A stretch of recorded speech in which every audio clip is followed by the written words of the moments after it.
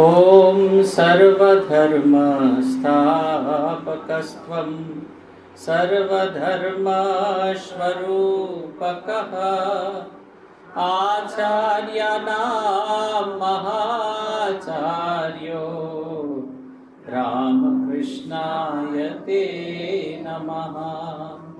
यथाग्नेर्दाहिका शक्ति रामकृष्णे स्थिता हिया सर्वविद्यास्वरूपान्तां शारदां प्रणमाम्यहम् परतत्त्वे सदा लीनो रामकृष्णसमाकया यो धर्मस्थापनरतो। वीरेशं तं नमाम्यहम्। कालिन्दे फुल्लकमले माधवेन क्रीडारता। ब्रह्मानन्द सद्गुरो लोकनायक योगानन्द प्रेमानन्द शान्ये वै ए च पार्षदा रामकृष्ण गत प्राणां सर्वान् तान् प्रणमाम्यहम्। सर्वान् तान् প্রণমাম্যহম শ্রীরামকৃষ্ণ দেবের অশেষ কৃপায় আবার আমরা সমবেত হয়েছি। আজকে প্রায় শেষবারের মতো আমরা সমবেত হয়েছি। ধর্ম প্রসঙ্গে স্বামী ব্রহ্মানন্দ এই বিষয়ে আজকের এই পাঠচক্রে আলোচনা করতে। আজকের দিনটি অত্যন্ত শুভ। আজকের দিন উল্টো রথ। ভগবান ফিরে যাবেন তার নিজ ভূমে কয়েকদিনের জন্য এসেছিলেন আমাদের মাঝখানে। তার লীলাবিলাস করার জন্য, আমাদের সঙ্গ করার জন্য, সেই লীলাবিলাসে অন্তে তিনি ফিরে যাবেন তার নিজ ভূমে। আমরা বিগত দিন আপনাদের বলেছিলাম আপনাদের মনে আছে কিনা জানি না। জগন্নাথের হাত দুটি সোজা করা। খানিকটা ছোট্ট শিশুর মতো তিনি যেন দুটি হাত এগিয়ে দিয়েছেন। আমাদের কোলে উঠবেন বলে, আমাদের ওপর আশ্রয় করবেন বলে। আমরা বলেছিলাম, ভগবান খানিকটা শিশুর মতো আচরণ করেন। শিশু জানে সে বাড়ির সবচেয়ে প্রিয় মানুষ। কিন্তু তবু সে সবসময় এমন একটা নির্ভরতার আচরণ করে যে তাকে মানে ওই মানুষটি ছাড়া সে একেবারে অচল, নিজেকে সম্পূর্ণ নির্ভর করে দেন আমাদের উপরে। এবং ভাবটাও তিনি সেই রাখেন যে তার উপর আমরা একবারে তিনি, আমাদের ওপর তিনি সম্পূর্ণভাবে নির্ভরশীল। অথচ যেমন একটা ছোট্ট শিশু জানে সে বাড়ির সবার মাথার মণি এবং সে আছে বলে আমাদের সকলের এত আনন্দ তথাপি যেমন ছোট্ট শিশু অন্যের ওপর নির্ভর করে থাকে, ঠিক সেরকম। তার ঠাকুমা যদি তাকে স্নান না করিয়ে দেন, তার কাকা যদি তাকে না বেড়ান, তার পিসিমা যদি তাকে এ না করিয়ে দেন, গায়ে তেল মাখিয়ে না দেন, তার মা যদি তাকে না খাইয়ে দেন, তবু তার খাওয়া হয় না। ঠিক ভগবান সেরকম দুটো হাত বাড়িয়ে দিয়েছেন, দুটি কাজ আমাদের আলিঙ্গন করার জন্য, ভগবানকে, ভগবান আমাদের তার বুকে টেনে নেওয়ার জন্য, আর দুই হচ্ছে আমাদের উপর নির্ভর করে থাকা। আর ভক্তরাও আত্মবধ সেবা করে। কালকে আপনারা বলছিলাম আমরা যে ভগবানের সারা গায়ে যখন নিয়ে যাওয়া হয়, ভগবানের যাতে একটুও না লাগে, তাই সারা ভগবানের সারা গায়ে লেপের মতো মোটা জিনিস বেঁধে দেওয়া হয়। যাতে কোথাও যদি ভুলক্রমেও যদি ধাক্কাধাক্কি হয়, ভগবানের শ্রীঅঙ্গে যেন কোনো আঘাত না লাগে। আমরা যেমন ছোট্ট শিশুকে সবসময় বাঁচিয়ে বাঁচিয়ে নিয়ে চলি, সেই শ্রীঅঙ্গে যেন কোনো রকম আঘাত না লাগে। একদম সেরকম। ভগবান এমনি করে আসেন আমাদের মাঝখানে। আমরা যারা, আপনারা যারা দেবী পূজা দেখেন বা পুজো দেখেন, এই আমাদের নিয়ম আছে, দেবীকে, দেবতাকে ইয়ং বায়ুরিজে নিজের মধ্যে থেকে বার করে নিয়ে আসা। তারপরে সে একটা ফুলের মধ্যে সেইটাকে স্থাপন করে দেবতাকে বার করে নিয়ে আসা। আবার বিসর্জনের সময় সেই ওটাকে সংহার মুদ্রায় আবার দেবতাকে ভেতরে ঢুকিয়ে নিয়ে আসা। অ্যাজ যেন তিনি তার অন্দরমহল থেকে বাইরের বৈঠকখানায় এসেছেন। সকলের সঙ্গে দেখা করেছেন, দেখা শেষ হয়ে গেলে আবার তিনি তার বৈঠকখানায় ফিরে যাচ্ছেন। এটা একটা অদ্ভুত শিক্ষা দিয়ে যান। তিনি আমাদের প্রত্যেকের হৃদয়ের মধ্যে বিরাজ করছেন। আমরা চাইলেই তাকে আমাদের হৃদয় থেকে বার করে নিয়ে এসে তার সঙ্গে খেলা করতে পারব। আবার হয়ে গেলে তাকে আবার ঢুকিয়ে রাখতে পারব। এরকম ছোট্ট শিশু, তার সেই আলমারি ভর্তি তার কাঁচের পুতুল থাকে। সে সেই আলমারি ভর্তি পুতুল যখন যে পুতুলটা দরকার হয় কাঁচের সেই সার্সি সরিয়ে সেই পুতুলটাকে বার করে নিয়ে আসে। তার সঙ্গে খেলে, তার সঙ্গে খেলা ঘর পাতায়। আবার খেলা শেষ হয়ে গেলে ওইখানে আবার তুলে রাখে। আবার খেলবে বলে। ঠিক সেই রকম ভগবানের সঙ্গে আমাদের একটা দিব্য সম্পর্ক তৈরি হয়ে যায়। আজ সেই পবিত্র দিন, পুনর্যাত্রার দিন। তিনি ফিরে যাবেন তার নিজ ভূমে কত রকমের খেলা হয়। মা লক্ষ্মী দেবী রাগ করেছেন, তাকে কিছুতেই ঢুকতে দেবেন না। সুভদ্রাকে সঙ্গে নিয়ে তিনি মাসির বাড়ি গেছেন, তাই লক্ষ্মী দেবীর অভিমান হয়েছে। কত রকমের যে হয়, একবারে আমাদের জীবনের গল্প। যেরকম ননদকে বেশি পাত্তা দিলে বৌদিদের ভীষণ রাগ হয়ে যায়, একদম এক্সাক্ট সেই রকম। মাহেশে যদি যান, সেখানে গিয়ে দেখবেন, যতদিন জগন্নাথ ইয়েতে থাকেন, মাসির বাড়িতে থাকেন, ততদিন এখানে মা লক্ষ্মী বাইরে বসে ভিক্ষা করেন। জগন্নাথ মন্দিরের ঠিক সামনে একটা সিংহাসনে মা লক্ষ্মীকে বসানো হয়। আর মা লক্ষ্মী ওখানে বসে ভিক্ষা করে। একটা বড় থালা থাকে, কেউ খানিকটা চাল, কেউ খানিকটা ডাল এসব দিয়ে যায়। আর সেইগুলো মা তখন রান্না করে করে খান। এই হচ্ছে কথা। মা লক্ষ্মী অভিমান করেছেন। তিনি তার সন্তানদের কাছে দাবি করছেন, দেখো, বাবা ফেলে গেছেন আমাকে, এখন আমার কি হবে? এই যে আমাদের নিত্যদিনের জীবনের গল্পের সাথে একবারে ভগবান তার গল্পকে একাকার করে মিলিয়ে দেয়। এরকম নানা জায়গায় নানা রিচুয়ালস আছে। সেই মাথা ভর্তি সিঁদুর পরে সে একবারে অভাগিনী, দুর্ভাগিনীর মতো। তিনি যেমন আমাদের, গিন্নিরা যেমন কর্তার অভিযোগ, আত্মীয় স্বজনকে জানায়, মাও যেন ঠিক সেরকম ভাবে তার অভিযোগ যেন তার সন্তানদের জানাচ্ছে। তার কোনো খাবারের ব্যবস্থা করে যায়নি, খুব খুব অন্যায় কাজ। ভগবান কোন রকম খাবারের ব্যবস্থা করে যায়নি, তাই জন্য মা লক্ষ্মী ভিক্ষা করতে বসেন, দেখো গো, আমাকে কিচ্ছু খেতে দেয়নি, আমি এখন কি করে খাব? এইরকম এই যে ভগবানের এই লীলাগুলিকে যদি আমরা আমাদের জীবনের মধ্যে নিয়ে আসতে পারি দেখবেন জীবনের গতি বদলে গেছে। আজকে আমাদের এই ধর্ম প্রসঙ্গে স্বামী ব্রহ্মানন্দে যে একটানা আলোচনা চলছিল, আমি খুব ছোট্ট বই বলে এখানে নিয়ে এসেছিলাম যাতে তাড়াতাড়ি শেষ হয়ে যায়, আর না এখানে আসতে হয়। কিন্তু ভক্তরা এমন মাধ্যমে বেঁধেছেন, তার চেয়ে বেশি স্বামী ব্রহ্মানন্দজি মাস বেঁধে দিয়েছেন। এই ছোট বই শেষ করতে আমার অনেক বছর, পাঁচ বছর প্রায় সময় লেগে গেল। আমরা আজকে একদিনেই সব চিঠি পড়া হবে, সব চিঠি কিছু কিছু অংশ, নির্বাচিত অংশ থেকে পড়ানো হবে। কারণ বেশিরভাগ চিঠি ব্যক্তিগত। তাই এটা কোনো একজনের উদ্দেশ্যে বলা। তাই সেইগুলো আবার বললে আমাদের ভীষণ হচপচ হয়। এক জায়গায় বলা আছে, আঠেরো ঘণ্টা জব ধ্যান করতে। কাল থেকে যদি আঠেরো ঘণ্টা আপনি জব ধ্যান করেন, কর্তা আর রান্না বান্না করবেন না। তিনি বলবেন, আমিও আঠেরো ঘণ্টা বসে বসে টিভি দেখব। মেয়েবেলা, ছেলেবেলা, ছোটবেলা, বুড়োবেলা, যত বেলা আছে, সব বেলা দর্শন করব। আপনিও হয়ে যাবে তখন হরিলুটের সংসার। সেই কারণে যেখানে এরকম বিতর্কিত জিনিস আছে, সেগুলোকে আমরা ছেড়ে দিয়েছি। আমরা পড়ছি প্রথম চিঠি ছয়ই ফেব্রুয়ারি আঠারোশো নব্বই। এই খানিকটা শুরুর খানিকটা পরে। মহারাজ বলছেন, এটা বলরাম বসুকে লেখা চিঠি। অদৃষ্টে যতদিন আছে, অদৃষ্টে যতদিন আছে, শরীরের, শরীর ধারণের ভোগ, দুঃখ এবং সুখ ভুগিতে হয়। তজ্জন্য আপনি কোনো চিন্তা করিবেন না। শ্রী গুরুদেবের কৃপায় আরোগ্য লাভ করিবেন। আপনার যখনই জ্বর হয়, অনেক দিন কষ্ট দেয়। যাহা হোক, আপনার একটি উত্তম স্থানে বায়ু পরিবর্তন করা দরকার। কারণ ঔষধ আদি অপেক্ষা বায়ু পরিবর্তনই আপনার বিশেষ উপকার হয়। যেখানে আপনার সকল রকমের সুবিধা হয়, এমতো স্থানে যাওয়া উচিত। উত্তর পশ্চিমাঞ্চল অথবা কটক যেখানেই হোক, ওই সময় কোন স্থানে কোন স্থানে যাইয়া থাকুন যাইয়া থাকুন। অধিক বিলম্ব করিবেন না, কারণ সংসারে সকল সুবিধা করিয়া যাওয়া সব সময় সকলের ঘটে না। আপনি বিবেচক যাহা ভালো বোঝেন, তাহা করিবেন। বলরাম বসুর খুব শরীর খারাপ হয়েছে, পেটের সমস্যা খুব বেশি। তাই তিনি ডাক্তারটাকে চেঞ্জে যাওয়ার কথা বলছেন। মহাকৃপন তিনি তিনি চিন্তা করছেন, কোথায় যাবেন?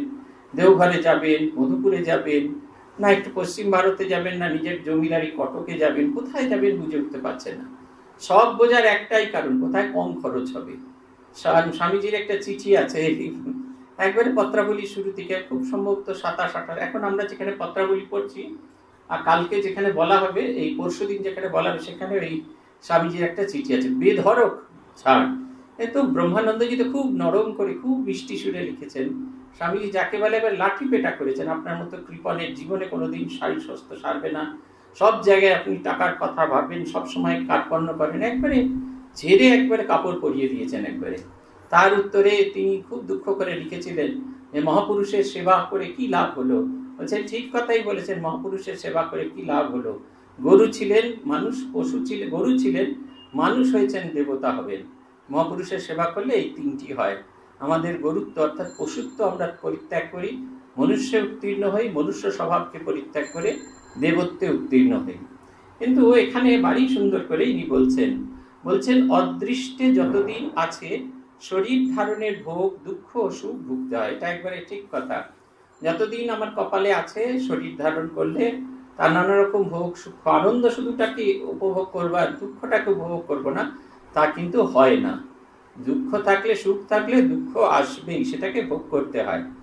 তারপরে বলছেন যে যাহা হোক, আপনার একটি উত্তম স্থানে বায়ু পরিবর্তন করা দরকার, কারণ ঔষধ পত্রাদি অপেক্ষা বায়ু পরিবর্তনে আপনার বিশেষ উপকার হয়। চেঞ্জ অফ প্লেস আগে বলা হতো চেঞ্জে যাচ্ছি। চেঞ্জ অফ প্লেস জায়গাটা পরিবর্তন করলে আমাদের ভিতরে পরিবর্তন হয়। সবটুকু। চেনা পরিচিত জায়গার বাইরেই যখনই আমরা যাই এবার যখনই আপনি কোথাও বেড়াতে গেলেন, গিয়ে সেখানকার খাবার খুব ভালো লাগে। আপনার চেয়েও বেশি, আপনার বাড়িতে আপনি যতটা তেল ব্যবহার করেন, সারাদিনে তিন চামচ তেল, তার চেয়ে অনেক বেশি তেল ব্যবহার করা হয়েছে। কিন্তু যে স্বাদের পরিবর্তন হয়ে যায়, মনে হয় কি সুস্বাদু খাবার। আর ওখানকার লোকেরা বলে, অখাদ্য, মুখে দেওয়া যায় না। আপনার মনে হয় কি অপূর্ব। আমরা যে চোদ্দ বছর বেলুন মাঠে ছিলাম, সেই পয়লা জানুয়ারি থেকে একত্রিশে ডিসেম্বর একই খাবার খেতাম। আর বলছেন যে, তখন আমাদের এটা খুব খারাপ লাগতো যে, রোজ সকালে একই রকম খাবার। সেই সকালবেলা, দুপুরবেলা প্রথমে ঝোল, তারপরে ডাল, তারপরে চচ্চড়ি, আর তারপরে সেই ছুঁড়ে মারলে এরকম হয়, এরকম একটা চাটনি। এই সময় পুরো পুরো সিজনটা জুড়ে আমড়ার চাটনি হতো। তখন মনে হতো সে আমাদের অপশান দিয়ে লাগতো। কোন দিন ঝোল দিয়ে ভাত খাব, কোন দিন ডাল চচ্চড়ি দিয়ে ভাত করব নিজেরাই ভ্যারাইটি তৈরি করতাম। আর এখন এতদিন বাদে গেলে মনে হয়, আহা, চচ্চড়িটা কি অপূর্ব করেছে। ঝোলের মতো এরকম সুস্বাদু জিনিস করে আমাদের সেন্টারে তো তৈরি হয় না। এই চেঞ্জ অফ প্লেস এটা খুব দরকার। তাহলে আমাদের মনের পরিবর্তন হয়। গতানুগতকে যে বৃত্ত, তার বাইরে সব সময় যেতে হয়। কিন্তু বলছেন উত্তর পশ্চিমাঞ্চল অথবা কটক যেখানেই থাকুক, এই এই সময় কোন স্থানে যাইয়া থাকুন। অধিক বিলম্ব করিবেন না, কারণ সংসারে সকল সুবিধা করিয়া যাওয়া সব সময় সকলের ঘটে না। আপনি বিবেচক যাহা ভালো বোঝেন, তাহা করিবেন। এইটা একটা দ্বিতীয় বন্ধন আমাদের, যেটা আমাদের ভীষণভাবে বেঁধে রাখে। আমি চলে গেলে খেলা ভোদার কি হবে? ওর একটু ব্যবস্থা করে যাই, তার একটু ব্যবস্থা করে, আপনারা, আমরা সবাই একই কাজ করি। আর এই করতে করতে জীবনের যে ভালো দিনগুলো চলে যায়, আমরা কখনোই সেটা বুঝে উঠতে পারি না। আর বলরামবাবুর আরেকটা সমস্যা ছিল, তিনি ছিলেন ভীষণ কৃপণ। তাই তাকে খুব মিষ্টি করে বলছেন, দেখুন, সন্ন্যাসী, সংসার ত্যাগী সন্ন্যাসী। কিন্তু এই যে তাঁর কল্যাণ চিন্তা করছেন বলরাম বসুর কি? বলরাম বাবু যেরকম তার গুরু ভাইদের কথা ভাবতেন গুরু ভাইও তার কথা ভাবছেন। শ্রীরামকৃষ্ণ একে অপরকে ভালোবাসার বন্ধনে বেঁধে দিয়েছেন। বলরাম বসু হচ্ছেন কলকাতার বর্ধিষ্ণু পরিবারের লোক। আর এই রাজা মহারাজ আসছেন উত্তর চব্বিশ পরগনায়। দুজনের কোথাও কোনো সম্পর্ক নেই, ছেলেবেলা থেকেও কখনো দেখা হয়নি। কিন্তু শ্রীরামকৃষ্ণের ভালোবাসার বন্ধনে সব এক হয়ে গেছেন, সব জায়গায় আলাদা, কোনো ফারাক নেই। দ্বিতীয় চিঠিটি উনত্রিশে মার্চ আঠারোশো নব্বই সালে লেখা এর দ্বিতীয় প্যারা থেকে আমরা পড়ব। তিনি বলছেন, তাহার লীলা কেহ বুঝিতে পারে না। জ্ঞানী হোক আর অজ্ঞানী হোক, সৎকর্ম বা অসৎকর্ম করুক সুখ, দুঃখ কর্মানুসারে সকলেরই ভোগ করিতে হয়। এ জগতে জন্মগ্রহণ করিয়া সুখ এবং শান্তিতে অবস্থান করে এমত লোক অতি বিরল। বিশেষ ভাগ্যবান তিনি। যিনি সকল বাসনা থেকে মুক্ত হইয়াছেন। বোধ করি শান্তির রাজ্যে তাহারই অধিকার। এইটা হচ্ছে সবচেয়ে বড় কথা। আমরা শরীর ধারণ করি, জ্ঞানী হই বা অজ্ঞানী হই, আমাদের এই শরীর ধারণে কষ্ট ভোগ করতেই হয়। এই সুখের পরেই দুঃখ আসবে, দুঃখের পর সুখ সুখ আসবে। কারা বেরোতে পারে? মহারাজ বলছেন যে, বিশেষ ভাগ্যবান তিনি, যিনি সকল বাসনা থেকে মুক্ত হয়েছেন। বোধ করি শান্তি রাজ্যে বাস করেন। এই সকল বাসনা থেকে মুক্ত হওয়াটা হচ্ছে কাজ। কোনো কিছু, কোনো বাসনাই সুখ আপনাকে স্পর্শ করবে না, দুঃখ আপনাকে স্পর্শ করবে না। এই অবস্থায় যখন আসবেন, তখন আমাদের হবে, নাহলে হবে না। এটা হওয়াটা খুব দরকার। আমাদের একজন সাধু ছিলেন, দক্ষিণী সাধু, অদ্বৈতবাদী। তার ক্যান্সার হয়েছিল, আরোগ্য ভবনে। শেষ দিকটা আরোগ্য ভবনে সাড়ে শেষ দশ বছর আরোগ্য ভবনে ছিলেন, আরোগ্য ভবনে থাকাকালীনই তার ক্যান্সার হয়েছিল। হাসপাতাল থেকে ফিরে এলেন, তার খুব কষ্ট হচ্ছে, কিন্তু তাকেই দেখে বোঝা যেত না। তিনি সেই অবস্থায় বসে বসে তার একটা চেয়ার ছিল, তার হাতলগুলো একটু লম্বা, সেইখানে একটা কাঠ লাগিয়ে তিনি উপনিষদ করছেন খানিক বাদে তার শরীর চলে যাবে, সেটা আমরা দেখলাম। কিন্তু উনি যেন একেবারে কোনো কিছুই তাকে স্পর্শ করছে না। একজন সাধু জিজ্ঞাসা করলেন, আপনার কি খুব কষ্ট হচ্ছে? বলছে একটু হচ্ছে। কিছু খাবেন বলছে, এক কাপ কফি খাওয়াতে পারো? কফি খেলেন, খেয়ে মুখটি ধুলেন, তারপর কাপটি রাখলেন তার বইটি রাখলেন, ঘর, বিছানায় গিয়ে শুলেন, শরীর চলে গেল।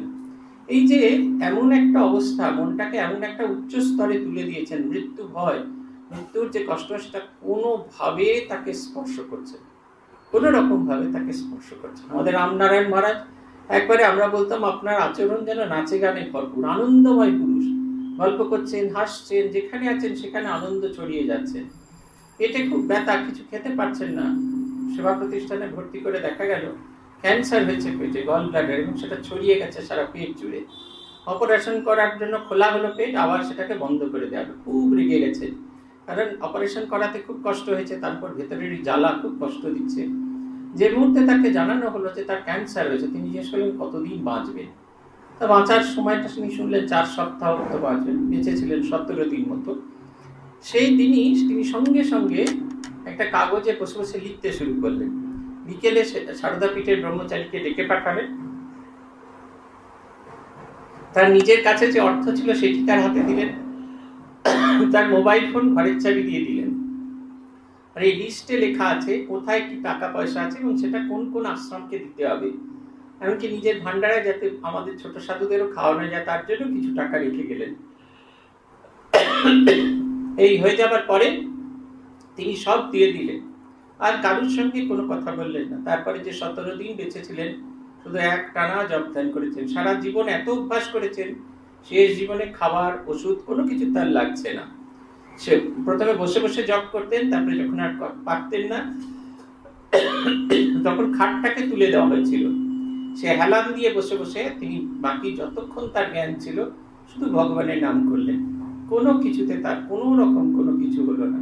এই হচ্ছে কথা। আমরা যারা মনকে তুলে দিতে পারি, অমন যন্ত্রণাকেও আমরা উপেক্ষা করে একটা আনন্দময় জীবনকে কাটাতে পারি। কাশীশ্বর আনন্দজিকে দেখেছি উননব্বই বছর বয়স তখন। কি সোজা হয়ে বসে আছেন, ব্রহ্মানন্দজির কৃপা পেয়েছেন। শ্রীমা সারদা দেবীকে তিনি দেখেছেন এবং আনন্দে ভরপুর থাকতেন। তারকে হাসপাতালে নিয়ে যাওয়া হচ্ছে। আমি সেটা তখনও ছোট কলেজে পড়ি।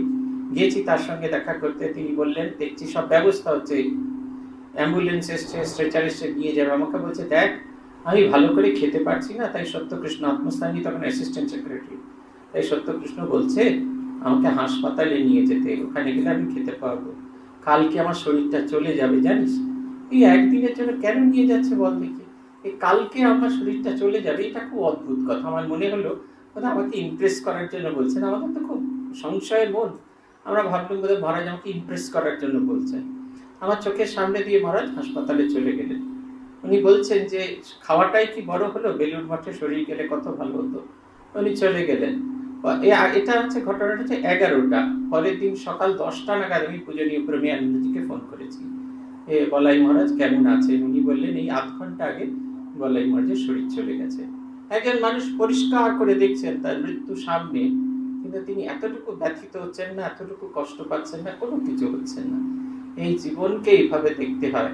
আমাদের যত আসক্তি বাড়বে, যত বাড়বে, তত দেখবেন এই জীবনের যে সত্য, মৃত্যুটা আমাদের জীবনের একমাত্র সত্য, এটাকে কিন্তু আমাদের জানতে হবে। রাম, আমাদের রামচন্দ্র দত্ত তার জীবনে খুব দুঃখ ছিল। তার মেয়েটি পুড়ে তার চোখের সামনে মারা গেছিল। তার ভীষণ কষ্ট হচ্ছিল। এই মেয়েটি ছিল এই নেই তিনি শ্রীরামকৃষ্ণের কাছে শান্তির জন্য গেলেন। ঠাকুর তার সঙ্গে শুধু গল্প করতে থাকলেন। সাড়ে তিনটে থেকে সাড়ে আটটা, পাঁচ ঘণ্টা গল্প করলেন। আটটা মারলেন লিটারালি আর তিনি তাকে যেন একটা প্রত্যয় জাগিয়ে দিলেন। জীবনের সৃষ্টির যেরকম ভূমিকা আছে অন্তেরও তেমনি ভূমিকা আছে। যদি সৃষ্টিকে মানতে হয়, অন্তকেও মানতে হয়। তার যে এত শোক এটা কেউ কমাতে পারছিল না, সেই শোক মনে হলো কেউ যেন স্পঞ্জের মতো তার কাছ থেকে কেড়ে নিলেন। এই জীবনের সত্যগুলো আমাদের বুঝে উঠতে হবে। তিনি বলছেন, এ জগতে সুখের ভাগ অতি অল্প, দুঃখের ভাগই অধিক। এই দুঃখময় জীবন লইয়া সকলেই দিন অতিবাহিত করিতেছে। জগদীশ্বরের পরম দয়া হইয়া কেন? জগদীশ্বরের পরম জগদীশ্বর পরম দয়াময় হইয়া কেন? তাহার জীবকে এত কষ্ট ভোগ করেন ইহার গুরুভাগ তিনি জানেন। সামান্য জীবের জানিবার কোনো উপায় নাই। আমাদের জীবনে সুখ ভাগ খুব কম। এই দেখুন আর চার দিন বাদে দুর্গা পুজো আসছে। আপনি বেশ খুব গুছিয়ে একখানা সাদা লাল পেড়ে জামদানি কিনলেন। আর সেই দিন পর্বিত পর একবারে বৃষ্টি ভীষণ রকমের। আপনি সব রকম কাদা বাঁচিয়ে প্রায় সাঁওতালি মহিলার মতো কাপড়টাকে উঁচু করে গেলেন অঞ্জলি দিতে। তারপর অঞ্জলি দিয়ে ফিরে এলেন আপনার সাদা লাল পাট জামদানি যেমন ছিল তেমনি সুন্দর। ঠিক বাড়ির সামনে সেটা স্কুটারওয়ালা কাদা ছিটিয়ে দিল। আপনার অমন স্বাদের সাদা জামদানি সেটাতে কাদা লেগে দেখুন, যে মনে এত আনন্দ ছিল, আমি জগৎকে দেখিয়ে সাদা জামদানি করে অঞ্জলি দিতে গেছি, ততখানি দুঃখ নিয়ে ফিরেন। তার সুখের পরিমাণ খুব কম, দুঃখটাই বেশি। দুটোকেই অ্যাকসেপ্ট করতে হবে। সুখটাকে যদি অ্যাকসেপ্ট করে থাকি, দুঃখটাও সমধিকভাবে আমাদের অ্যাকসেপ্ট করতে হবে। তাই বলছেন যে জীবনের এত কষ্ট, কেবল আমি এবং আমার এই অজ্ঞানতাবশত যাহার অহংকার একেবারে পরিত্যাগ হইয়াছে মন, বুদ্ধি, প্রাণ যদি সেই জগদীশ্বরের পাদপদ্মে সমর্পণ করিয়াছেন আমার বলিতে কিছু নাই, এমন ব্যক্তি সৌভাগ্যবান এবং যথার্থ সুখী। কথা একবার খুব সত্যি কথা। যতক্ষণ আমি আমার আছে, ততক্ষণ ভীষণ কষ্ট। এই যে আমাদের কেউ গেলে আমি সঙ্গে সঙ্গে তাকে ট্যাকে করে আমাদের স্কুল দেখাতে নিয়ে যাই। বলি, দেখুন, এটা আমার সময় হচ্ছে। বলছি, এদিকে সব সময় যখন অ্যাপ্লিকেশন হচ্ছে, ভগবানের কৃপায় যদি আপনারা অর্থ দিয়ে দেন ভগবানের কাজ হবে সব কত কি বলে বেড়াচ্ছি? ভগবানের সন্তানরা আসবে। কিন্তু এমন একটা আমি আমার বোধ সঙ্গে সঙ্গে ধরে নিয়ে গিয়ে দেখাচ্ছি। দেখুন, এই স্কুল আমার সময় হয়েছে যাতে সে মনে রাখে, তার হৃদয় স্বর্ণাক্ষরে আমার নামটা থাকে। ওখানে যেন শ্রী ভগবানের নাম। আমার দুঃখ হবে না তো? কার হবে? আমার তো দুঃখ হবেই। বলছেন আমাদের যাবতীয় কষ্টের মূলেই আমি আর আমার। আমি এই করেছি, আমার এই ছিল, আমার তাই ছিল, আমার ওই ছিল। আর বিশেষ করে যাদের ছিল, আর যাদের এখন নেই। তারা কিছুতেই বর্তমানে দাঁড়িয়ে নেই। সব সময় পাঁচশো বছরের পুরনো কালেরতেই রয়েছে। জীবের নিজের কোনো বিষয় করি, নিজের, জীবের নিজের কোনো বিষয় করিবার ক্ষমতা কিছু মাত্র নাই। কিন্তু সর্বদা তাহার নিকট প্রার্থনা ভিন্ন, অন্য উপায় কিছু নাই। হে জগদীশ্বর, আমি কিছুই নই। এই চৈতন্যটুকু যেন থাকে, এবং তুমি নিত্য এবং সত্য এই বোধ যেন সর্বদা থাকে। তাহা হইলে অজ্ঞান তাহাকে আক্রমণ করিতে পারে না। এটা নিরন্তর প্রার্থনা করতে হয়। আমি আমার যাওয়ার জন্য তার কাছে প্রার্থনা করতে হয়। এই যে আমি আমার যে অহংকার, এটা যদি না যায়, তাহলে তিনি একবারে ঝাঁটা পেটা করে এই অহংকারকে আমাদের সরাবেন। তাই ঝাঁটা খাওয়ার আগেই বলতে হয়, ভগবান, আমার একটা কিছু ব্যবস্থা করো। আমার এই আমি আমার যে বোধ, এর থেকে যেন আমি মুক্ত হতে পারি। বলছেন শ্রী পরমহংসদেব বলিতেন, স্ত্রী পুত্র দিতে যেরূপ লোকের আসক্তি এবং ভালোবাসা, ভগবানের নিমিত্তে কটা লোকের সেরূপ ভালোবাসা হয়? বোধ করি তাহার এক শতাংশের এক অংশ জীব ভগবানকে ভালোবাসিতে পারে না, এবং কয়টা লোকই বা ভালোবাসিতে চেষ্টা করে? তিনি বলছেন না মা ছেলের জন্য লোকে এক ঘটি কাঁদে, বিষয়ের জন্য লোকে এক ঘটি কাঁদে, ভগবানের জন্য যদি কেউ কাঁদতো তাহলে ভগবান তাকে পেতেন। ডাক দেখি মন ডাকার মতো, কেমন শ্যামা থাকতে পারে, কেমন কালী থাকতে পারে গানটি তিনি গাইছেন। তারপরে যে কথাটা বলছেন বলছেন বিষয়ে, বিষয়ের প্রতি যে ভালোবাসা মায়ের সন্তানের প্রতি ভালোবাসা তারপরে এই সমস্ত তিন রকমের ভালোবাসা আরেকটা সতীর পতির প্রতি ভালোবাসা এই তিন ধরনের ভালোবাসা ভালোবাসার মধ্যে যে শব্দটা আছে সেটা হচ্ছে প্রিয়তা। ভগবানের প্রতি যতক্ষণ না আমাদের প্রিয়তা বুদ্ধি হচ্ছে ততক্ষণ পর্যন্ত হবে না। এই আগের দিনই বলছিলাম আমাদের জীবনে অপশন যখনই থাকবে তখনই খুব মুশকিল। আমরা যে অ্যাকাউন্টেন্সি করতাম সেখানে পাঁচটা ষোলো নম্বরের প্রশ্ন থাকে পাঁচ ষোলো আশি এর প্রত্যেকটা অপশন থাকতো এ আর বি এ প্রশ্নটায় অঙ্কটা করতে দিত বি প্রশ্নটায় থিওরিটা করতে দিত। যে অঙ্কে কাঁচা সে থিওরিটা করতো। কিন্তু শেষের যে কুড়ি নম্বরের প্রশ্ন থাকতো, সেইটাতে আমাদের অঙ্কটা কষতেই হতো। তিনটি অ্যাকাউন্টস করতে হতো receipts and payments income and expenditure balance sheet ওটায় কোনো অপশান থাকতো না। এন্ট্রিগুলো বুঝি আর না বুঝি আমাদের করতেই হতো। আমাদের কোনো উপায় ছিল না, ওর থেকে পালিয়ে যাওয়ার আমাদের কোনো উপায় ছিল না। ওটা আমাদের করতেই হতো, কিছুতেই ছাড়া যেত না।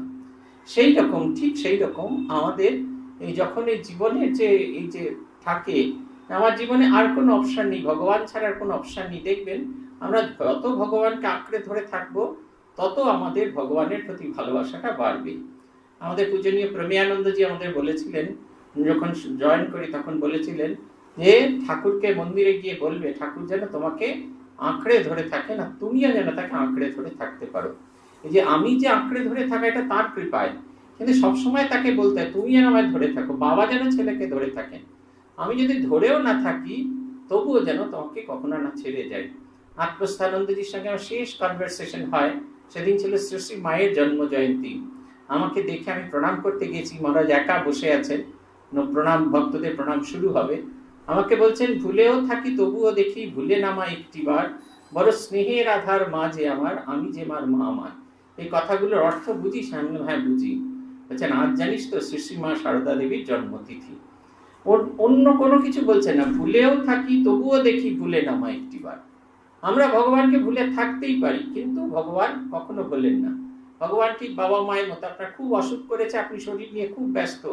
হঠাৎ করে ঘুম ভেঙেছে, বাথরুমে যেতে হবে। আপনি ভাবছেন, কাউকে বলবেন আপনি খুব স্বাবলম্বী।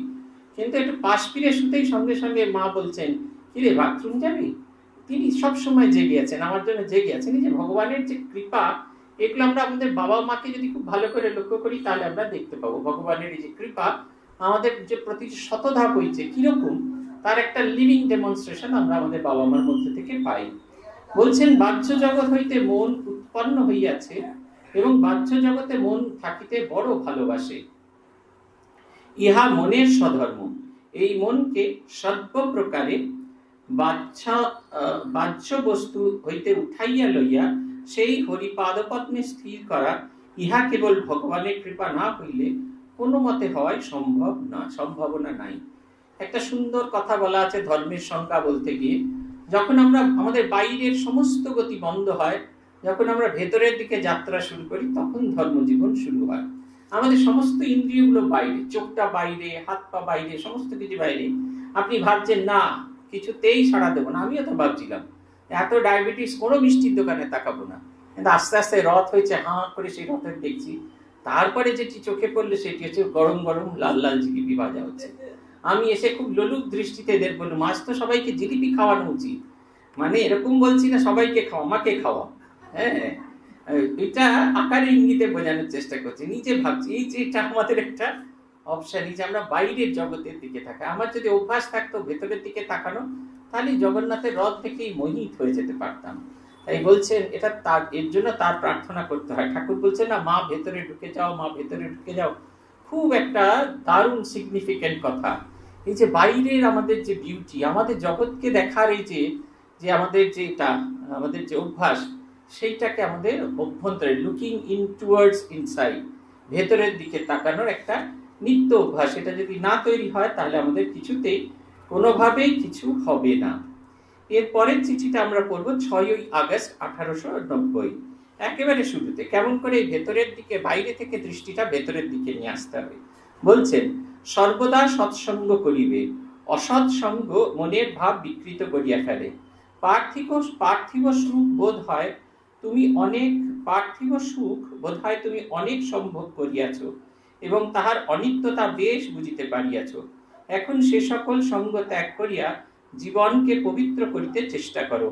তাহা হইলে ইহজীবন এবং পরজীব পরকালে সেই নিত্যানন্দ স্বরূপকে জানিতে পারে।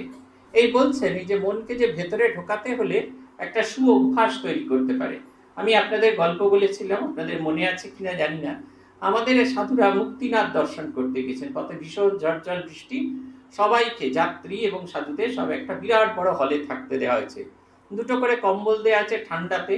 তাই আমাদের সাধু খাওয়া দাওয়া করে শুয়ে পড়বার চেষ্টা করছেন। দূর থেকে তিনি দেখছেন দুজন ইস্কনের সাধু, তারা বসে বসে জব করছেন। আমাদের সাধুটির মনে হলো, এই সাধু বাবারা সারা রাত ধরে জব করবে, আর আমি ঘুমিয়ে কাটিয়ে দেবো? তিনিও আস্তে আস্তে গুটি গুটি করে উঠে ব্যাগ থেকে জপের মালাটা নিয়ে তিনিও পা মুড়ে বসে জপ করতে থাকলেন। ভীষণ, সমস্ত রাত্রি খুব আনন্দে কেটে গেল। এই দেখুন, সৎসঙ্গের ফল। এই কারণে সবসময় বন্ধু মহলটা খুব ভালো করতে হয়। বন্ধু মহলটা এটা চয়েস আমাদের। আমরা কাকে বন্ধু বানাবো আর কাকে, কার প্রতি আমাদের প্রিয়তা বুদ্ধি থাকবে কোন বিষয়ের প্রতি আমার প্রিয়তা বুদ্ধি আসবে।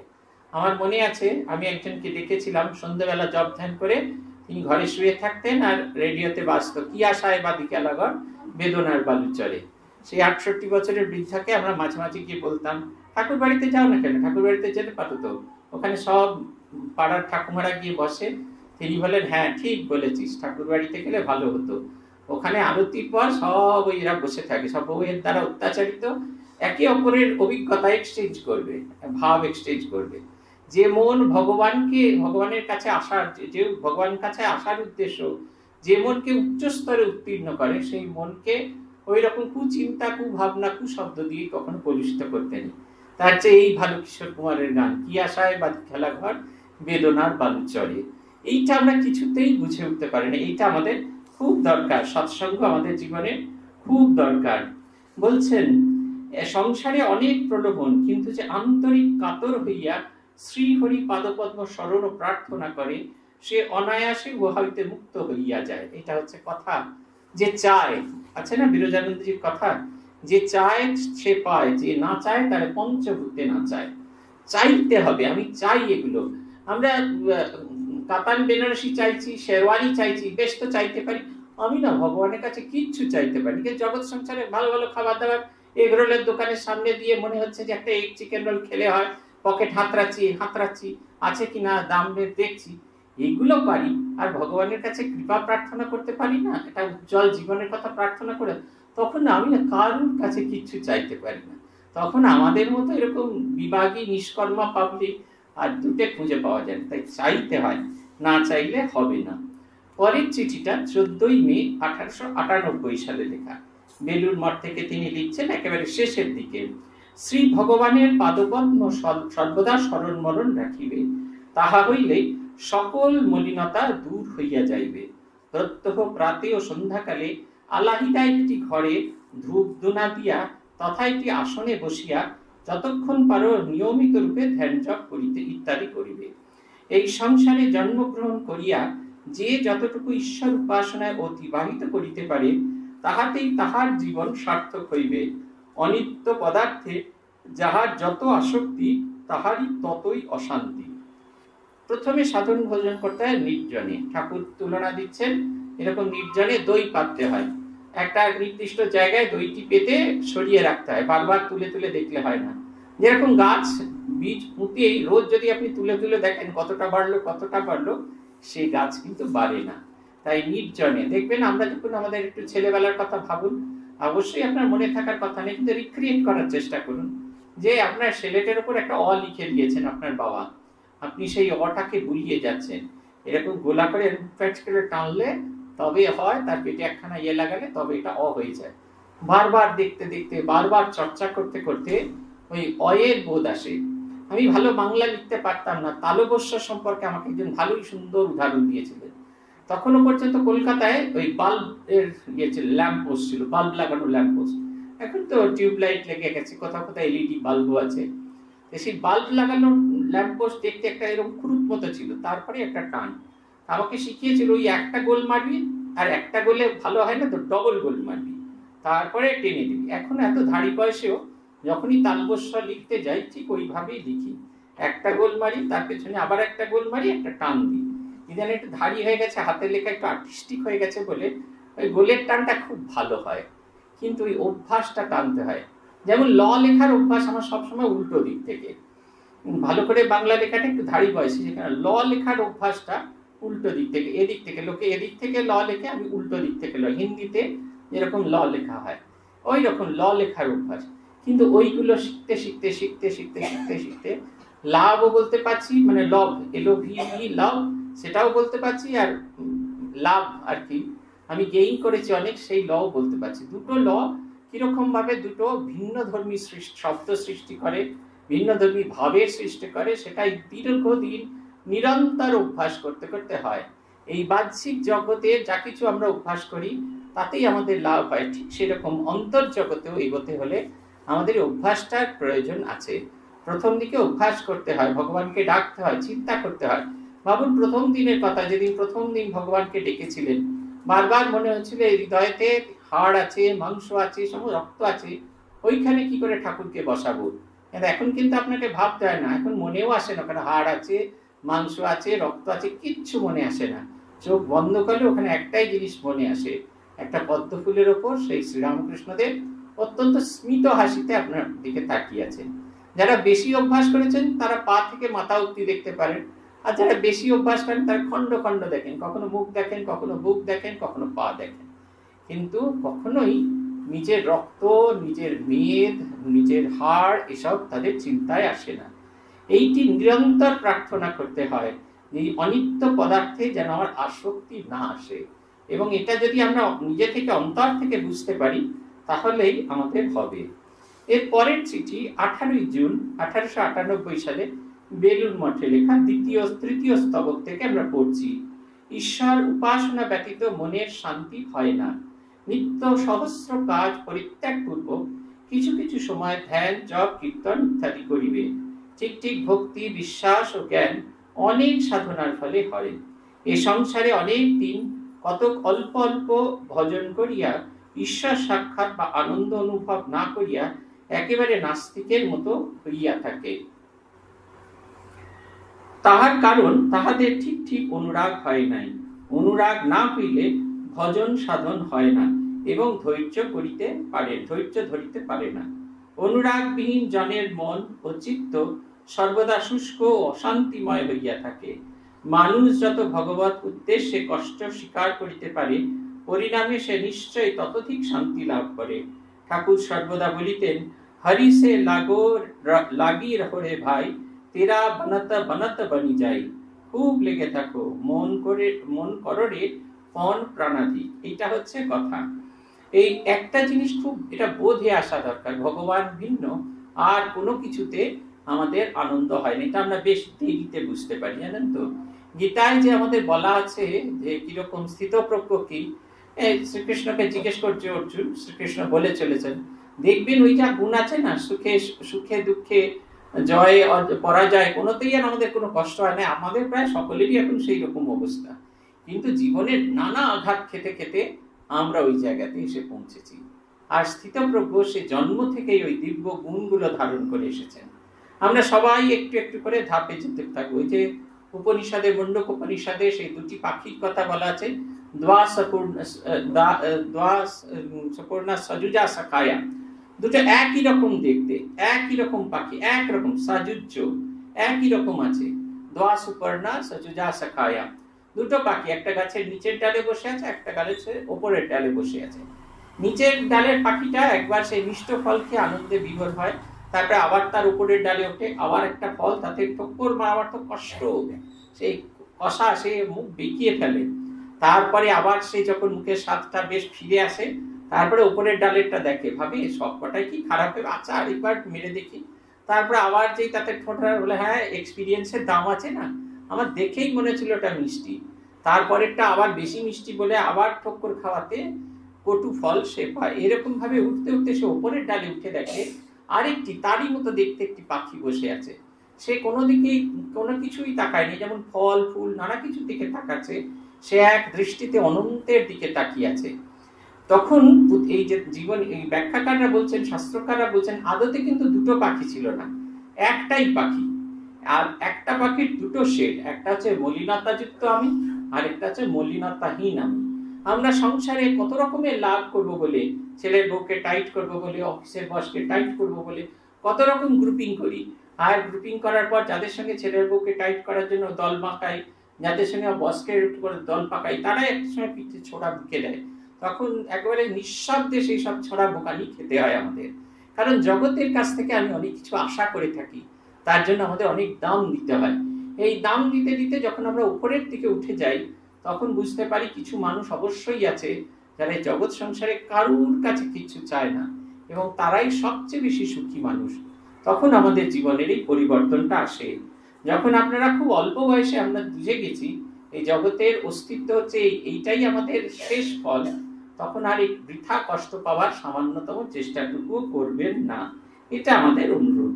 বলছি সংসারে অনেক দিন কত অল্প অল্প অল্প ভজন করিয়া, ঈশ্বর সাক্ষাৎ বা আনন্দ অনুভব না করিয়া একেবারে নাস্তিকের মতো হইয়া পারে কেউ কেউ বলে, আমরা ভগবানকে মানি না, কিছুই করি না। আমার এক বন্ধু আছেন, তিনি খুব বড় পদে কাজ করেন। তিনি মাঝে মাঝে স্বামীজির কথা বলে বলেন। এই স্বামীজি যা বলে গেছেন, এটা ঠিক ঠিক। আর বাকিরা যা বলছে বলছে বাজে বকছে। স্বামীজিরই ভাবকে তার শিষ্যরা নানা রকম ভাবে বলছে। সেইটা যেহেতু কোটেশনের পেছনে স্বামী বিবেকানন্দ লেখানি, সেটা অবশ্যই বাজে কথা। তার মানে সে স্বামী বিবেকানন্দকে বোঝে না, আর তার ভাবানুসারীদের কথাও বোঝে না। সে এততে কিছুই বোঝে না, সে শুধু নিজেকে বোঝে, আমি একটা খুব বিখ্যাত মানুষ, আমি একটা খুব বড় মানুষ, আমার মতো বিরাট আর কেউ নেই। এই আত্ম অহংকারে সে এত মত্ত হয়ে থাকে জগতের দিকে কোনো দিকে তাকানোর তার সামান্যটুকু সময় থাকে না। তারা এই রকম নাস্তিকের মতো করে থাকে, তাদের জীবনে কোনো কিছুই হবে না। এই অনুরাগ ভগবানের প্রতি ভালোবাসাটা হওয়াটা খুব জরুরি। ভালোবাসা না হলে যেমন প্রেমিক প্রেমিকাও সম্পর্ক টিকে থাকে না, তেমনি ভক্ত ভগবানের সম্পর্ক টিকে থাকে না। দেখবেন ভালোবাসা হলে এই রকম যদি একখানা ছেলে কোণের এসে দাঁড়িয়ে পড়ল আপনার প্রিয়জন, সে এসে দাঁড়িয়ে চোখটা টিপে দিল, আপনিও চোখ টিপে দিলেন, একে অপরের সঙ্গে বোঝানো হয়ে গেল। যে আপনারা দুজনেই দুজনকে জানাচ্ছে হ্যাঁ আমি আছি। ও বলছে, তুমি আমায় দেখেছ? সে চোখ টিপে বলে হ্যাঁ দেখেছি, আর কিছু করতে হয় না। এই ঠনঠনিয়া কালীবাড়ির পাশে আগে মার্ক্সবাদী কমিউনিস্ট পার্টির অফিস ছিল, এখন আর নেই। যখন মার্ক্সবাদী একবার খুব উপরে ছিল, তা কমিউনিস্ট পার্টিতে যারা যেতেন, তারা তো বেশিরভাগই হিন্দু। আর মা কালীকে আর কাউকে ভয় করুক না করুক, মা কালীকে তারা ভীষণ ভয় করে। তাই ঠনঠনিয়াতে যাওয়ার সময় আবার ওদিকে যদি ঘাড় ঘুরিয়ে হাত জোর করে প্রণাম করে, তার পার্টির লোকেরা দেবে। তাই ওইখানে যাওয়ার সময় ঠিক তাদের সাইকেলটা স্লো হয়ে যেত। ঘাটটা ঘোরাতেন, চোখ বন্ধ করে চলে যেতেন। মা ভিকুস বেটা ভিকুস কেউ জানতে পারল না। এইটা হচ্ছে আমাদের কথা। এই অনুরাগটা আমাদের থাকা দরকার চোখ টিপে হোক, তবু হোক, ভালোবাসাটা থাক। তোমাকে আমি ভালোবাসি, ভয় করি না, তোমাকে আমি ভালোবাসি। তোমার ছাড়া আর জগতে কেহ নাই, কিছু নাই গো। এইটা আছে না তো তুমি সর্বস্বমা। এই বোধটা, এই ভালোবাসাটা যখন জাগবে, তখন দেখবেন আপনি তার জন্য সব কিছু করবেন। এই যে ফেব্রুয়ারি মাসের একবারে কতগুলো ডে আছে, দেখবেন কত কি বিক্রি হয় চকলেট বিক্রি হচ্ছে টেরি বিক্রি হচ্ছে সে পুটুল পাটুল, সব এবার ঠাকুরের তিথি পুজো আমাকে এরকম দিয়েছিল একটা ইয়ে দিয়েছিল, একটা কুকুর দিয়েছিল। তারপরে বরান ইয়ে বহরমপুরে গেছিলাম, সেখানে আরেকটা সেই টেডি দিল আমাকে। সে বুকে করে নিয়ে বসে আছি বাচ্চা ছেলের মতো। ভগবানকে এরকম বুকে করে বসে নিয়ে সে টেডি নিয়ে বসেছে। আমি মনে মনে ভাবছি আমারই অবস্থা যদি সত্যি সত্যি এরকম ভ্যালেন্টাইন্স ডে গিফট পাওয়া যেত, আমাকে কীরকম কি করতে হতো? এই যে ভালোবাসাটা, বাহ্যিক ভালোবাসাটা জগতের প্রতি আমরা দেখাচ্ছি, এটা যদি ঈশ্বরের উপর করতে পারতাম, তাহলে দেখতেন জীবন বদলে যেত। আমাদের একজন সাধু ছিলেন, এখন আমার সঙ্গে নেই। তিনি যখন সাধু হতে এসেছেন, রোজ ঠাকুরকে বারবার পৌঁছান তার প্রথম দিন সকালবেলা সকালবেলা ঘুম থেকে উঠে একবার মোছা হলো। তারপর মন্দির থেকে জব করে সে আরেকবার মোছা হলো। তারপরে টিফিন থেকে ফিরে এসে আরেক, ও টিফিন খেয়েছে তো এখানে ঠাকুরের মুখ ধুচ্ছে। তারপরে ঠাকুরকে এক গ্লাস দুধ নিবেদন করে সে পুকুরে এই বাগানে কাজ করতে যে ফিরে এসে দুধটা নিজে ঢকঢক করে রেখে ঠাকুরের মুখটা মুছিয়ে দিল। স্নান করে এসে একবার মোছানো হলো ক্লাসে যাওয়ার আগে মোছানো হলো। খেতে খেয়ে ফিরে এসে একবার মোছানো হলো, বিকেলে ক্লাসে যাওয়ার আগে মোছানো। সারা দিন মোছাতো। আমরা আত্মস্থানন্দকে বললাম, বহুবার মোছায়। উনি বলছেন, ওরে ঠাকুরের তো নুন ছাল উঠে যাবে। তারপরে বলছেন, ওর ভালোবাসা, ওর অনুরাগটা দেখ। যতবারই যা কিছু করছে, কিন্তু ফিরে আসছে সেই ঠাকুরের কাছে। আত্মস্থানন্দী ভীষণ পজিটিভ তো প্রত্যেক কথার ভেতরে একটা ইতিবাচক দিক তিনি খুঁজে পেতেন। তিনি বলছেন, আর যাই করে দেখ, অন্য খেলা বোধা কারুর কাছে যাচ্ছে না। যতবারই ফিরে আসছে সেই কাপড়ই ঘষুক আর যাই ঘষুক, শ্রীরামকৃষ্ণের কাছে ফিরে আসছে। তোমার ছাড়া আরে জগতে কেহ নাই, কিছু নাই গো। এই বারবার তার কাছে ফিরে আসছে। আত্মস্থানন্দ যে দীক্ষা দিতে আসতেন, অর্ঘ্য দিয়ে ওই গানটি বারবার গাইতেন। হে প্রভু, আর যাই করো, আর যা খুশি করো আমার তোমার শ্রী চরণ ছাড়া আর করো না। সঙ্গের সঙ্গ করু ব্রহ্মজ্ঞ পুরুষ, যাকে আমরা বলি ঠাকুরের প্রতিনিধি, তিনি শ্রীরামকৃষ্ণকে বলছেন, আমাকে তোমার চরণ ছাড়া করো না, তোমার চরণেই আমাকে যেন রাখো। এই ভালোবাসাটা থাকো। এই হচ্ছে হরি সে লাগরে ভাই, তেরা বানাতে বানাতে বানি যাই যে আত্মসানি কথা বলছি না, এটা হচ্ছে তুমি হতে হতে তুমি হয়ে যাওয়া, তার মতো হয়ে যাওয়া। আমরা এরপরে যে চিঠিটা পড়ব, একটা চিঠি বাদ দিয়ে, বাইশে মে উনিশশো তিন সালের একটা চিঠি। এর দ্বিতীয় যে পর্ব সেটা পড়ব। বৈরাগ্য না আসিলে ঠিক ভগবানের তার ভাব ধারণা করিতে পারা যায় না। আমার দৃঢ় বিশ্বাস, যাঁর যত বৈরাগ্য, তিনি তত ভিতরের শান্তি লাভ করিতে থাকেন। শ্রীরামকৃষ্ণদেব যথার্থ বিবেক ও বৈরাগ্যের মূর্তি ছিলেন। যতদিন যাইতেছে, ততই তাহার মহিমা বুঝিতে পারিতেছি। বিবেক বৈরাগ্য শাস্ত্রে পড়িয়াছি, কিন্তু শ্রীরামকৃষ্ণের তার জ্বলন্ত দেখিয়াছি। আমাদের দূরদৃষ্ট যে এমন জিনিস দেখিয়া শুনিয়া নিজ জীবনে প্রতিফলিত করিতে পারিলাম না। বৈরাগ্য আসা খুব দরকার। শ্রীরামকৃষ্ণের ভাষায় বৈরাগ্য হচ্ছে বিষয় বিরাগ, ঈশ্বরে অনুরাগ। আমাদের বিষয়ে বিরাগ আসে ঈশ্বরে অনুরাগ আসে না। মন হচ্ছে খানিকটা জানেন তো জলবায়ুর মতো। যখনই এই যে গরম, ভীষণ গরম, এই চৈত্র মাসে প্রচণ্ড গরম পড়ে বৈশাখের শুরুতে যে প্রচণ্ড গরম পড়ে, এই যে বায়ুমণ্ডলের বাতাস, সেটা বাষ্পীভূত হয়ে ওপরে উঠে যায় এবং সেই জায়গাটাকে পূর্ণ করার জন্য বিভিন্ন জায়গা থেকে ঠান্ডা বাতাস ছুটে আসে। কালবৈশাখী হয়। যত দ্রুত বাষ্পীভূত হচ্ছে, তত কালবৈশাখীর তাণ্ডব বেশি।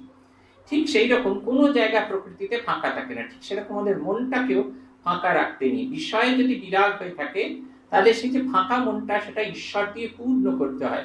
শুভ জিনিস দিয়ে পূর্ণ করতে হয় না হলে ওই অলস মস্তিষ্ক শয়তানের কারখানা কুচিন্তা, কুভাবনা, নিম্ন মার্গের ভাবনা চিন্তায় হয় আমাদের এইটা হচ্ছে কথাই বৈরাগ্যটা আসার খুব জরুরি। বিষয়ে বিরাট ঈশ্বরের অনুরাগ। তিনি বলছেন, এই বৈরাগ্য যতদিন না আসছে, ততক্ষণ পর্যন্ত ভগবানের ভাব ধারণ করা কঠিন। এই জগতে এই বিষয়ের কোনো স্থান নেই। এটা একেবারে যদি মনের ভেতরে না ঢুকে, এবং এই জগতে ঈশ্বর ভিন্ন আর দ্বিতীয় কোনো সত্তার প্রতি আমাদের ভালোবাসা থাকা উচিত নয়। এই বোধটা যতক্ষণ না যাচ্ছে ততক্ষণ পর্যন্ত আমরা গভীরভাবে ভগবানকে ভাবতে পারব না। বলছেন, বৈরাগ্য, বিবেক বৈরাগ্য শাস্ত্রে পড়িয়াছি, কিন্তু শ্রীরামকৃষ্ণে তা জ্বলন্ত দেখিয়াছি। তাহার একবার মনে হলো, ঠাকুরের একবার মনে হলো, সাচ্চা জড়ি পোশাক পরবেন আর উপর গড়গড়ায় তিনি তামুক তামাক খাবেন। বলা মাত্রই সঙ্গে সঙ্গে তিনি আর এনে দিলেন আমাদের মথুরা মোহন সাচ্চা জড়ি পোশাক করলেন আর সেই উপর গড়গড়ায় খাচ্ছেন। দেখছেন তামুক এই উঁকো দেখেও যেরকম হয়, সেরকম হয়। তিনি একবার এদিক ঘোরাচ্ছেন আর ওদিক ঘোরাচ্ছেন আর মনকে বলছেন, এই হচ্ছে রূপর গড়গড়ায় তামুক খাওয়া। তারপরে সেই পোশাক খুলে ফেলে, তার উপর পা দিয়ে মারাচ্ছেন, থুথু করছেন। সেতে আর তার কোনো আসক্তি আসছে না। আমি বলছি না যে জামদানিগুলো সব ফেলে তার উপর দিয়ে ডিস্কো ডান্স করতে সব কখনো বলছি না। হলো তুলে রাখুন ন্যাপথালিন দিয়ে। ওগুলো থাকুক। কিন্তু ওর প্রতি আমাদের যে আসক্তি, সেটা যেন চলে যায়। ওটি ছাড়া আমার জীবন অচল, এই বোধটা যেন আমাদের ভিতরে কখনো কোনো অবস্থাতে না আসে। বলছেন, আমাদের দূর অদৃষ্ট যে এমন জিনিস দেখিয়া স্বয়ং শ্রীরামকৃষ্ণকে দেখেও শ্রীরামকৃষ্ণ জীবনকে আমরা অনুসরণ করতে চাই না। এরপরের চিঠিটা খুব বড়, তার খানিক অংশ থেকে নেওয়া ভদ্রক উড়িষ্যায় উনিশশো পনেরো সালে লেখা চিঠি। বৃথা সময় নষ্ট করিও না। বড় বড় প্রশ্নে মাথা না ঘামাইয়া কিছু কাজ করো। খাটিলেই বস্তু পাওয়া যায় ইয়া বিশ্বাস করিয়া কাজে লাগিয়া যাও। না খাটিয়া কেবল বড় বড় প্রশ্ন করিয়া জীবন কাটাইলে কোনো ফল হইবে না। সকল সুবিধা যখন হইয়াছে, তখন কিছুদিন সাধন ভজনে ডুবিয়া থাকো। অন্তত এক বৎসর। দেহ মন শুদ্ধ হবে, তার কৃপা ধারণা হবে। বেশিরভাগ সময় আমরা প্রশ্ন করে জীবন কাটিয়ে দিই। স্বামী মাধবানন্দজির একটা জীবনের ঘটনা, আমাদের সোমেশ্বরানন্দজি ব্যক্ত করছেন। মাধবানন্দজি তখন নবম সংঘগুরু। মাধবানন্দজিকে গিয়ে সোমেশ্বরানন্দজি জিজ্ঞেস করছেন আচ্ছা আপনার কি বিশ্বাস হয় যে মন্ত্র দীক্ষা হলেই এই মন্ত্র জপ করলেই ভগবান লাভ হয়? উনি বলছেন, তোমাকে কে বিশ্বাস করতে বলেছে? তুমি করে দেখো, যদি করে পাও তো পেলে, আর না হলে পেলে না, কিচ্ছু নেই, একবারে জিরো। তুমি আগে করে দেখো, না করেই তুমি প্রশ্ন করছ। আমাদের বহু ক্ষেত্রে এইটাই সমস্যা। না করেই প্রশ্ন। আমরা ভাবি দীক্ষা যেই হয়ে গেল ওই সাদা লাল পেরে কাপড় যেটা পরে গেছে দীক্ষা নিতে তোটা পুরনো হবার আগেই ভগবান আমার আঁচলেতে বাঁধা হয়ে যাবে। তা কি হয়? করতে হয়, নিরন্তর সাধন ভজন করতে হয়। প্রথমে আমাদের যে মলিনতা, জীবনটা খানিক কেন তো আলুর দমের মতো। আমি এই গল্পটা বলি, অনেক মায়েরা খুব অসন্তুষ্ট হয়, কিন্তু এরকমই। আলুর দম যখন বাজার থেকে আপনি কিনে নিয়ে আসেন, সেই আলুর দম ডাইরেক্ট আপনি কড়াইয়ে চড়াতে পারেন না, সেটাকে আগে ভালো করে ধুতে হয়। ধোয়ার পর কি করি আমরা? ওই একটা পিলার দিয়ে তার খোসাটা ছাড়াই।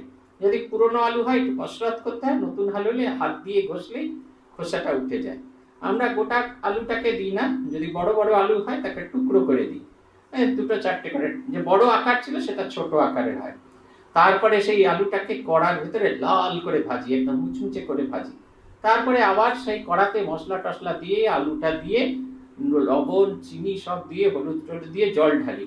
আর কষতে থাকি, এমনি এমনি করে কষতে থাকি। তারপরে দেখি যখন নামাই তখন ওই যে কড়ার যে ভর্তি যে কড়া ভর্তি যে জল ছিল সেটা এই একেবারে শুকিয়ে গেছে এবং আলুর ভেতরেও যেরকম স্বাদ, আলুর বাইরেও সেরকম স্বাদ। আমাদের জীবনটা খানিকটা সে আলুর দমের মতো। আমরা যখন যাই ভগবানকে চাই তখন ভগবানের কৃপা ঝরে পড়ে। যেরকম আলুগুলো পরিষ্কার করার জন্য জলের দরকার হয় সেটা কৃপা বৃষ্টি ঝরে পড়ে, মন্ত্রাকারে আমাদের জীবনে আসে। অভ্যাস করতে হয়। সেই মন্ত্রকে অভ্যাস করলে কি হয়? আমার যে পূর্ব পূর্ব সংস্কার সে যেমন পিলার দিয়ে আপনি টেনে টেনে খুলছেন, সেই পিলার দিয়ে কালো সংস্কারটা বেরিয়ে যায়। তখন যে আলুটা কিনে নিয়েছিলেন আর খোসা ছাড়ানোর পর যে আলুটা, সেটা দেখতে সম্পূর্ণ আলাদা। একটা ভূতের মতো, আমার মতো কালো ছিল আর একটা এই দিদিদের মতো ধপধপে ফর্সা হয়ে গেল। তারপরে সেই গোটা আলুটা দিয়ে হয় না, জীবন অত ছাড়ে না। তখন আমাদের ভিতরে একটা বিনয়ের ভাব আসে। তখন এই আলুটা কেটে দিতে যেমন সে বড়, তার আমি বড় ছিলাম সেইটা যেমন ছোট হয়ে যায়, আলুটা বড় থেকে ছোট হয়ে যায়, আমরাও সেরকম খণ্ডে রূপান্তরিত হয়। জীবন অত সহজে ছাড়ে না, ভাজা ভাজা করতে থাকে। আমরা জীবনে অড সিচুয়েশনসগুলো অনুভব করি, কিন্তু নিঃশব্দে সেগুলো মানতে হয়। যেরকম আলুর দমের আলুগুলো ভাজা, যত ভালো ভাজা হবে, সে তরকারিটা কত ভালো হবে, জীবনে যত আঘাত আসবে, সেটাকে মেনে নিতে হবে। আমার কাঁধগুলো শক্ত হচ্ছে, আমার জীবনটা আরও বেশি ঈশ্বরাভিমুখী হবে, ঈশ্বর কেন্দ্রিক হবে। তারপরে ওই যে মশলা, তারপরে চোখের জল, তারপরে অনুরাগ, সাধন, ভজন দিয়ে নিরন্তর সেটাকে চালাতে হয়। চালাতে চালাতে চালাতে সে আমার যে বিরাট, আমি ছোট্ট হয়ে যাই, তখন আমার ভেতরটা একবারে ঈশ্বরময় বস্তু হয়ে যায়। তখন সুস্বাদু হয়ে উঠি। ভেতরেও যেমন ঈশ্বর ভক্তি, বাইরে, আমাদের বেশিরভাগ ক্ষেত্রে বাইরে। জয় মা জয় মা জয় মা করছি, আর তারপরে ভেতরে সব দু নম্বরই চিন্তা ভাবনা করছি। তখন ভেতরে, বাইরে দুদিকেই ভগবানের প্রকাশ, ভগবানের নির্ভরতা আসতে থাকে আমাদের। এইটা হচ্ছে কথা। তাই বলছে, নিরন্তর চেষ্টা করতে হয়। বড় বড় প্রশ্ন না করে এটা করা ভালো। বাজে কাজে বাজে চিন্তায় মন না দিয়ে কিছুদিন তাকে নিয়ে থাকো। এটা একটা খুব বিরাট কথা। ইহা আমার ইচ্ছা, স্বয়ং স্বামী ব্রহ্মানন্দজি বলছেন।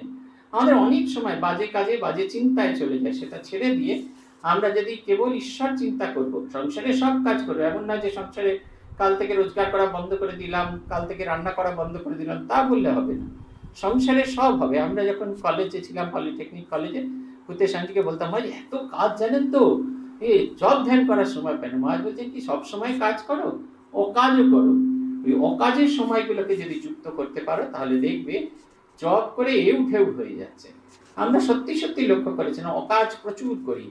আপনারাও দেখবেন বিএনপিসি অকাজ। আর যে বোকা বাক্স আপনারা দেখেন, সকালবেলা, দুপুরবেলা, রাত্রিবেলা, ওই তিনটে একেবারে বোকা জিনিস, কিচ্ছু দেয় না। আমাদের কাছে কোনো রকম কোনো কিছু দেয় না। খালি কুটকাচালি শিখি আমরা। হ্যাঁ এই আর অযৌক্তিক অদ্ভুত লাগে যে ডাক্তার, ইঞ্জিনিয়ার সব যার যত বিদ্যাপতি মানে টিভিতে টিভিতে তো সবাই ফার্স্ট ক্লাস সিনেমায় তো সবাই ফার্স্ট ক্লাস ওয়েব সিরিজে সবাই ফার্স্ট ক্লাস সেই যত ফার্স্ট ক্লাস তত সে অযৌক্তিক, তত বেশি। এই জীবনের অযৌক্তিক জিনিসগুলো করতে করতে নিজেকে আমরা আমার যে বোকা, আমার যে বোঝা মনটা, ঝুনো বুদ্ধিটা, সেটা কখন যে কাঁচা হয়ে যায়, আমরা নিজেরাই বুঝতে পারি না। তাই বলছেন, ধ্যান, জপ, স্মরণ, মনন সর্বদা করবে। এটা একটা নির্দিষ্ট সময়ের জন্য করতে হয়। সর্বদা আমি তার সর্ব অবস্থায় তার চিন্তা করব। লোক জুটিয়ে আড্ডা বা অপরকে উপদেশ দিবেন, এটা আমি বলব না, আপনারা খুব রেগে যাবেন। এক মিনিট আমাদের মুখ বন্ধ হয় না, কাচার কাচার কাচার কাচার আমিও করি। আমি বলছি না যে আপনারা করছেন না, তা নয় এক মিনিট যে আমরা কালকে নাগের বাজারে ক্লাসে যাব, বাপরে বাপরে, বাপ। সে ওই নিচ থেকে শোনা যায়। প্রথমে কিচকিচ কিচকিচ ভোমরার মতো, গানের মতো। তারপরে হচ্ছে ওই শত কণ্ঠ, এক হাজার কণ্ঠের রবীন্দ্রসঙ্গীতের মতো। তারপরে সেই যে সিপিএম তৃণমূল আর বিজেপি ফাইটিং এর মতো। একেবারে যখন সিঁড়ি দিয়ে উঠি, তখন মনে হয় যেন ভেতরে তৃণমূল আর বিজেপি নমিনেশন দেওয়া নিয়ে মারা মারামারি হচ্ছে। এমন গল্প, এমন আড্ডা হতে থাকে। আমরা কখনোই প্রস্তুত হই না। ভগবানকে আলোচনা করতে, ভগবানকে চিন্তা করতে কখনোই প্রস্তুত হই না। যতই আপনি বলুন, ওই বাজে বেলা মেয়ে বেলা যাই দেখে, আপনি যেই হয়ে গেল মুখাত পা ধুয়ে গিয়ে যখন মালাটা নিয়ে বসলেন, কিছুতেই ঈশ্বর চিন্তা করতে পারবেন না। ওই বাজে বেলা মেয়ে বেলা আপনার মনের ভেতরে, আপনার অবচেতন মন থেকে একটু একটু করে ফুটে উঠবে। আপনার ঈশ্বরকে ধাক্কা দিয়ে বার করে দেবে। যেরকম আমরা ওই মোবাইল ফোনের যে স্ক্রিন কভার সেখান থেকে ভগবানের ছবিটা এমনি করে আঙুল দিয়ে সরিয়ে দিয়ে তবে এই কর্মজগতের মধ্যে প্রবেশ করি, ঠিক সেই রকম দেখবেন ঈশ্বরের জগতে প্রবেশ করার সময় বাজি বেলা মেয়ে বেলা এগুলো আমাদের ধাক্কা দিয়ে সরিয়ে দেবে। তাই এই বিষয়ে সতর্ক হতে হবে। বলছেন, শরীর এখনও পটু আছে, মন এখনও কোনো বিষয়ে কোনোরূপ ছাপ করে নাই। এই বেলা গুছাইয়া দাও এটা খুব জরুরি। যতদিন শরীর ভালো থাকে এটা চেষ্টা করতে হয়। একজন বয়স্ক সাধুকে দেখেছিলাম আরোগ্য ভবনে। তিনি স্তব স্তুতি পড়ছেন মুখস্থ করছেন, জিজ্ঞেস করলাম, কি কেন করছেন? মহাপুর বিজ্ঞান মানুষের শিষ্য ছিলেন প্রতিভানন্দজি। তিনি বলছেন, দাদা, আস্তে আস্তে বুঝলি তো, হাত, পা, চোখ সব অচল হয়ে যাচ্ছে। একেবারে অচল হওয়ার আগে তখন তার মন্দিরে গিয়ে ঠাকুরকে প্রণাম করতে পারব না। তাই তাড়াতাড়ি যতটা সময় আছে, মুখস্থ করিনি, আগে চেষ্টা করিনি, এখন মুখস্থ করার চেষ্টা করছি। যখন চোখে দেখতে পাবো না, পা চলবে না, তখন এই সব স্তব স্তুতি করে তার রূপ চিন্তা করতে পারব। তার কাছে না যেতে পারলেও তিনি আমার হৃদয়ের ভিতরে প্রবেশ করতে পারে। তার প্রস্তুতি চলছে তা আমরা কেউ বুঝতে চাই না। একটা সময় চোখে দেখতে পারব না, হাত পা চলবে না, রোজ যে হনহন করে একটা সময় মঠে যেতাম, তাও পারব না। কিন্তু মনের ভেতরে যদি ঈশ্বর এসে বসেন, তাহলে আমাদের কোথাও যেতে হবে না, চোখ বন্ধ করলেই তার সেই জ্যোতির্ময় স্বরূপ মূর্তি আমরা দেখতে পাবো। আত্মস্থানন্দজিকে দেখেছি। যখন আমরা ছোট ছিলাম, তখনও দেখেছি, মহারাজ, এই তিথি পুজোগুলোর আগে পার্শ্বদের জীবনী পড়ছেন। আর যখন তিনি প্রেসিডেন্ট হয়ে গেছেন, চোখে কিচ্ছু দেখতে পান না, প্রায়। তিনি হাতে বইটি নিয়ে বসে থাকতেন, সেবক করে যেত। তিনি ওই বইটি নিয়ে বসে থাকতেন এবং মন দিয়ে সেই চিন্তা করতেন। মনে হতো, মহারাজ, সেই যুগে শশী মহারাজের সঙ্গে চলে গেছেন বোধহয় সেইখানে লীন হয়ে আছে। একদিন আমাদের মধ্যে যিনি ছিলেন, তিনি প্রশ্ন করলেন, মহারাজ, এখনও এইসব করেন? তখন মহারাজ বললেন, জীবনের যা কিছু পাঠ এইগুলোতে শিখেছি। এই শাস্ত্র আমাদের চলতে শেখায় যে আমাদের বিবেক বোধকে জাগ্রত করতে হয়। যখনই মিথ্যা যখন ট্র্যাক হিসেবে আমাদের কাছে আসে, সে বলে, না, এতে পড়লে একেবারে সারা জীবনের মতো হারিয়ে যাব। তাই বলছেন, তোমার এই এখন উঠিয়া পড়িয়া লাগিয়া যাও, আকুল প্রাণে তাহার নিকট প্রার্থনা করো। তিনি সকল উত্তরের মীমাংসা করে দেবেন। তার ঠিক পরের পর্বেতেই আছে, ধ্যান জপের উদ্দেশ্য মনকে শান্ত করা। ধ্যান জপ করিয়া মন যদি শান্ত না হয়, আনন্দ যদি না পাওয়া যায় বুঝিতে হইবে, ধ্যান জপ ঠিক ঠিক হচ্ছে না। আমি সারাক্ষণ ক্রিক্রিক ছট ক্রিক্রিক ছট করে চলেছি। মনের ভেতরে সেই অশান্তি যাচ্ছে না। হম নিচার তলায় এরকম হলো, ওপর তলায় ওরকম হলো, কর্তা এরকম আমাকে ঠেস মেরে বলে গেল, ছেলের বউ বলে গেল। এইগুলো যদি মনের ভেতরে আপনার হন্ট করে তাহলে বুঝতে হবে ভগবানের কাছাকাছি আসা হয়নি। আত্মস্থানজি তুলনা দিতেন আগুনের সাথে। যত আমরা আগুনকে দেখতে পাবো, অন্ধকার জীবনে আগুন দেখলে তার দিকে এগিয়ে যাব। আগুন আমাদের আকৃষ্ট করবে। অন্ধকার থেকে সে আমাকে আলোর পথে নিয়ে যাবে। যত কাছে যাব, তার আলোয় আলোকিত হব। আরও কাছে গেলে তার উষ্ণতায় উষ্ণ হব। আর আরও কাছে গেলে নিজের সত্তাকে হারিয়ে আগুন হয়ে উঠবো। তাই আগুনকে তিনি জাগাতে বলতেন। তিনি বলতেন, তোমার নিজের ভেতরে আগুনকে প্রজ্বলিত করো। অন্য কাউকে বদল করার দরকার নেই। তোমার ভেতরের আগুনটা যদি প্রজ্বলিত হয়, সেই আগুনের আলোকে মানুষ অন্ধকারের ভেতরে আলো খুঁজে পাবে। তোমার আলোতে সে জ্যোতির্ময় হবে। তোমার আলোতে সে তেজময় হবে। তোমার আলোতে সে তার আপন সত্তা হারিয়ে এক নতুন সত্তা প্রাপ্ত হবে। জব ধ্যানের উদ্দেশ্যই হচ্ছে তাই। সব কিছু উজাড় করে তাকে নেওয়া। এইরকম আর একটা এটা শেষ আজকের শেষ আলোচনা প্রশ্ন এই চিঠিটায়। প্রশ্ন ছিল, একেবারে শেষের আগের প্রশ্ন এটা। সেখানে শেষ বলছেন, শেষ প্রশ্ন, আমার নিজের কিছু করিবার সামর্থ্য নেই, একদম আইডিয়াল আমাদের মতো। প্রশ্ন হচ্ছে, আশীর্বাদ করুন, শ্রী শ্রী ঠাকুর ও আপনার উপর বিশ্বাস যেন দৃঢ় হয়, আপনাদের কৃপা বুঝিবার ও ধারণা করিবার যেন সামর্থ্য হয়। বলছে নিজের উপর অবিশ্বাস আনিও না, শ্রী শ্রী ঠাকুর সব সুবিধা করিয়ে দেবেন। ওই যে ভদ্রলোকটি তোমাকে সাহায্য করিয়াছেন, ইহা তাহারই ইচ্ছা জানিবে। তাহার উপর বিশ্বাস করো, তাহার নাম করিয়া যাও। তিনি সব বুঝাইয়া দেবেন, চঞ্চল হইও না। নির্মল হতে হবে চঞ্চল হলে চলবে না। পড়িয়া থাকো, নাম করো, খাটো। খাটিয়া যাও, বস্তু পাইবে। বাজে চিন্তায় বড় বড় প্রশ্নে সময় নষ্ট করিও না। খুব সুন্দর সুযোগ হইয়াছে, হেলায় হারাইও না। ভগবানের কৃপা সকলের উপর রহিয়াছে। একটু খাটিলেই, চোখ চাহিয়া দেখিলেই বুঝিতে পারা যায়। এখানে আসিয়াছ ইহাদের কৃপা পাইয়াছ, ইহারা যেমনটি বলেন, সেইটি জীবনে ফলাইবার চেষ্টা করো, বৃথা সময় নষ্ট করিও না। এই আপনারা বলেন অনেক সময়, আমাদের আর কি আজকেই কে যেন একজন বলছিলেন, আপনারা ভগবানের কাছের লোক। আমরা ভগবানের কাছের লোক আর আপনি ভগবানের দূরের লোক, এই কথাটা সত্য নয়। আমরা প্রত্যেকেই ভগবানের কাছের লোক। শুধু ফারাকটা একটু আছে। আমি তার কাছের লোক, এটা আমি একটু আগে বুঝেছি, আপনি একটু দেরিতে বুঝেছেন। আর কোনো ফারাক নেই। কাছের লোক বটেই। আমরা সবাই সেই হাওড়া ইয়ে থেকে বিধান সরণি দিয়ে শ্যামবাজার পাঁচ মাথায় মরে যাচ্ছি। আমি একটু আগে আগে সকাল সকাল বেরিয়েছিলাম বলে আমি হাতিবাগানের মোড়ে পৌঁছেছি। আপনি বিবেকানন্দ রোডে মোড়ে আছেন। আপনিও হাঁটতে হাঁটতে সেই পাঁচ মাথার মোড়েই পৌঁছবেন। সেই এমনি করে যে সুভাষচন্দ্র বসু, চলো দিল্লি, চলো বলছে, ওইটা আপনিও দেখবেন। শুধু ফারাক হচ্ছে, আপনি কত তাড়াতাড়ি আমি পায়ে হেঁটে যাচ্ছি। আপনি হয়তো অটো একটা অটো পেলেন হুস করে আমাকে পেরিয়ে চলে যাবেন। তাহলে কি তখন আবার সংজ্ঞাটা বদলে যাবে? যে আপনি ঈশ্বরের কাছে লোক, আমি ঈশ্বরের পিছনের লোক। মাধবানন্দজিকে চেতনানন্দজি বলছেন, জানেন তো? সেটা সাল উনিশশো তেষট্টি সাল। স্বামী বিবেকানন্দের এই শতবর্ষ উদযাপন চলছে। তিনি গিয়ে বললেন, মাধবানন্দজি, গম্ভীরানন্দজি মহারাজ বলেছেন, স্বামীজির শতবর্ষ উৎসব হবে, তাই এবছর আমার টিসি আসা হবে না। মাধবানন্দজি হাসছেন আর বলছেন, তাই তো, টিসি না এলে এক বছর ব্রহ্মচর্য দেরি হবে, তাহলে তুমি জুনিয়র হয়ে যাবে। তারপরে থেমে বলছেন তুমি জানো সিনিয়রকে আর জুনিয়রকে যে ভগবানের কাছে পৌঁছেছে, সে হচ্ছে সিনিয়র সে যদি পরেও আসে, তবু সে সিনিয়র আর যে ভগবানের আগে এসেও ভগবানের কাছে পৌঁছয়নি, সে সারা জীবনের মতো জুনিয়র এইটা হচ্ছে কথা, এটা আমাদের বুঝতে হবে। আমরা জোশও করে তার কাছে যেতে হবে। সেই সুভাষচন্দ্রের মূর্তি দেখতেই হবে। মাঝখানে যদি এই কেবিনগুলো আমাকে ডাক, ডাকে কিংবা গোলবাড়ির কষা মাংস যদি ডাকে তাহলে কিন্তু লক্ষ্য থেকে অনেক দূরে হারিয়ে যাব। যখন সুভাষের মূর্তি দেখব বলে বেরিয়েছি, তখন হাতিবাগানের সেই রাধা সিনেমার তলায় গোপের কুলপি খেলেও হবে না, আর সেই সেন মহাশয়ের মিষ্টি খেলেও হবে না। আমাদের সোজা সুভাষ বসুর ওইখানে যেতে হবে। ছুঁয়ে তারপরে দেখবেন সব ছুটে ছুটে আসছে আপনার জন্য যেমন সেই রেস হয়, পৌঁছানোর পরে সবাই শরবত খাওয়ায়, জল খাওয়ায়, ঠিক সেই রকম। লক্ষ্যে পৌঁছলে ঈশ্বর এগিয়ে এসে আপনার ঘাম মুছিয়ে দেবেন, আপনাকে জল খাওয়াবেন আপনাকে শরবত খাওয়াবেন আর ছাতা ধরে থাকবেন যাতে সংসারের রোদ আপনাকে না স্পর্শ করে। আমরা শুরু করেছিলাম স্বামী ব্রহ্মানন্দজি মহারাজের এই উপদেশ সংগ্রহ দিয়ে। আজকের এই পবিত্র দিনে আমরা শেষ করলাম। ব্রহ্মানন্দজিকে আমার সবচেয়ে বেশি ভালো লাগে ব্যক্তিগত চয়েস। স্বামী ঠাকুরের শ্রীরামকৃষ্ণের সন্তান, দেখুন সব অনেকগুলো চাকরি খুলে গেছে, সবাই প্রণাম মহারাজ বলবার জন্য বসে করেছেন তা কিন্তু নয় ওটি করলে হবে না। ব্রহ্মানন্দজিকে আমার সবচেয়ে বেশি ভালো লাগে, তার মূল কথা হচ্ছে তিনি প্রত্যেকটি, জীবনের প্রত্যেকটি সমস্যা সমাধানের সূত্র জাগতিক দিক দিয়ে দেয়নি, সবটাই আধ্যাত্মিক স্পিরিচুয়াল উত্তর দিয়েছেন। আমাদের জীবন যত বেশি ঈশ্বরময় হবে, আমাদের জীবন যত বেশি ভাগবতময় হবে, তত হবে।